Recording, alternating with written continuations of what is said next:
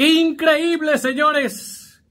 A sus 70 años de edad, esta mujer, que tiene por nombre Safina Namukwaya en Uganda, tuvo gemelos, así mismo como ustedes lo oyen. A sus 70 años de edad, esta mujer tuvo gemelos.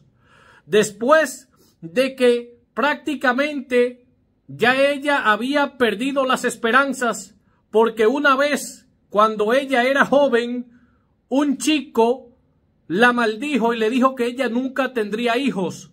Desde ese entonces ella se mantenía orando y haciendo todas las gestiones médicas para tener hijos y no había podido tener hijos. Y ahora con 70 años de edad no tuvo solo un hijo, sino que dos gemelos.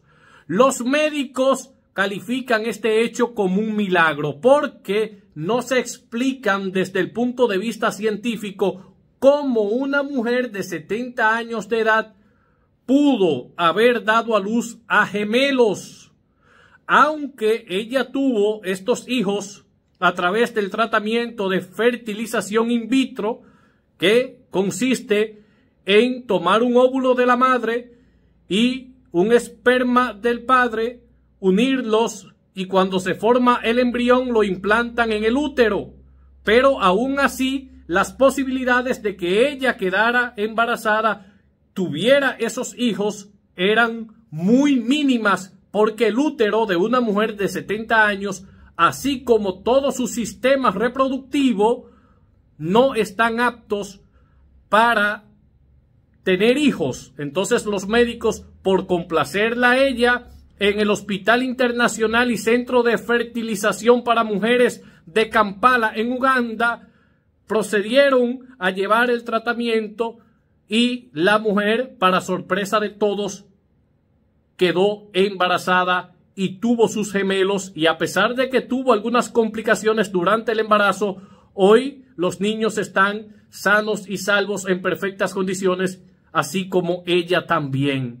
Ella dice que no sabe ahora cómo va a criar a sus hijos porque su esposo la abandonó, ya que hasta el marido jamás pensó que ella quedaría embarazada. Él estaba donando sus espermas, pero consciente dentro de sí mismo que eso no tendría resultados y por eso la acompañó en parte del proceso, pero cuando él vio que ocurrió ese milagro y que ella quedó embarazada, inmediatamente se fue y ella jamás ha vuelto a saber de él. Señores, esto se parece a la historia bíblica que cuenta que el Señor, que Dios le hizo un milagro a Sara y ésta a sus 90 años de edad quedó embarazada de Abraham, que también tenía 100 años de edad y tuvieron a un hijo al que le pusieron por nombre Isaac.